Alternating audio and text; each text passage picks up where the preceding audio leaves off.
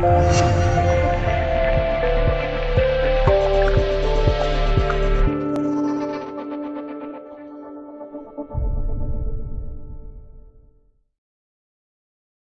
不是药神，在前几日热度上映，在获得大的票房的同时，也赚进了观众的泪水。通过此片揭露了药价贵的社会问题，抗癌药的药价普遍都比较高，很多人患癌之后卖药。就成了家庭当中较大的一笔开销。其实国家这两年一直在想尽办法降低抗癌药的价格。零幺二零幺七年三十六个药品医保准入谈判成功。二零一七年国家医保药品目录调整时，针对部分专利、独家药品临床价值高，同时价格相对较贵的实际情况，建立了医保经办机构与药品企业的谈判协商机制。通过谈判降价和确定全国统一的医保支付标准，将三十六种高价药纳入目录范围。这些药品的平均降价幅度达到百分之四十四，最高的达到百分之七十。此次谈判确定的支付标准有效期到二零一九年底。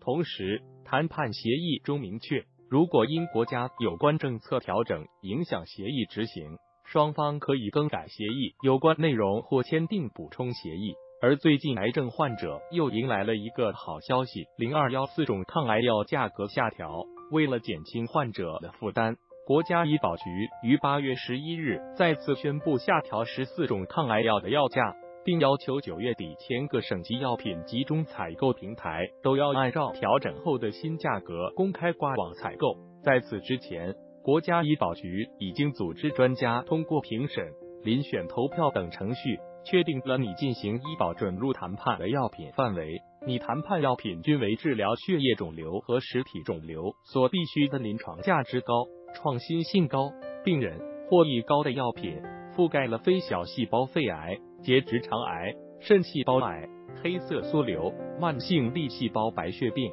淋巴癌、多发性骨髓瘤等多个癌种。下一步将启动谈判材料准备、专家评估和具体谈判工作。除了十四种药价的下调以外，首个肺癌免疫治疗药物获批也要上市了。零三首个肺癌免疫治疗药物获批即将上市，开启国内肺癌治疗新纪元。国内首个，也是目前唯一获批上市的 PDE 抑制剂，开启了肺癌免疫肿瘤治疗时代。八月十日，百时美食贵宝在北京举办 PDE 单抗 Opdivo 的中国上市媒体发布会，会中透露。Opdivo 那五粒有单抗注射液，欧迪沃将于今年第三季度正式登陆中国市场。在我国，每年肺癌新发病例达七十八点一万例，预计到二零二零年，每年新发病例将超过八十万。肺癌的发病率和死亡率一直高居所有癌症之首，其中非小细胞肺癌是肺癌中最常见的类型，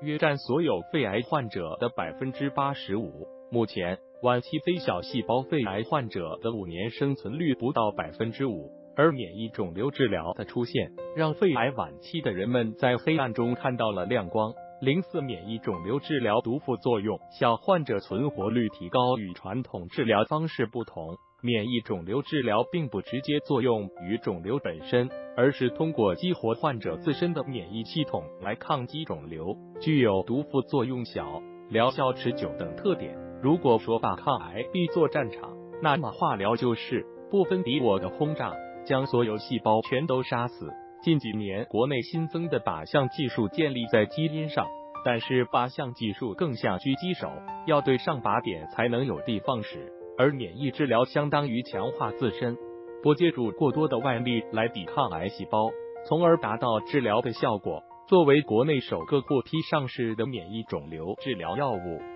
Ovo 为医生及患者提供了全新的治疗选择，在中国有望成为非小细胞肺癌二线治疗的新标准。中国胸部肿瘤研究协作组主席吴义龙说：“通过临床研究证实，这种免疫治疗注射液将晚期非小细胞肺癌患者五年生存期提高到了百分之十六，大大改善了患者对癌症的生存预期。截至目前，这种免疫治疗注射液。”已在超过六十五个国家及地区获得批准，在美国已获批十五项适应症，涉及非小细胞肺癌、黑色素瘤、肾癌、霍奇金淋巴瘤、头颈鳞癌、膀胱癌、结直肠癌、肝癌八个瘤种，在日本、韩国和中国台湾胃癌适应症也已获得批准。这一系列的措施对于癌症患者来说是福音。十四种抗癌药价格下调，减轻了患者的负担。免疫治疗药物在国内的出现，便利了患者的治疗，为我们的国家点赞。